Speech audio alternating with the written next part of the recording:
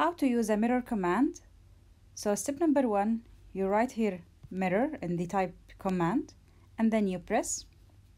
So only you need to follow the steps. It's written to select the object. I would like to mirror this point and this also those two circles.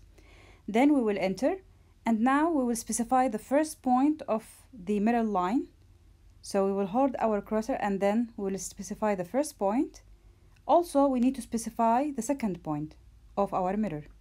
And now instead of draw again the circles we will be able only to just remember them to save our time.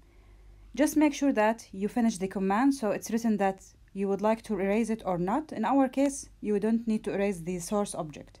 So say no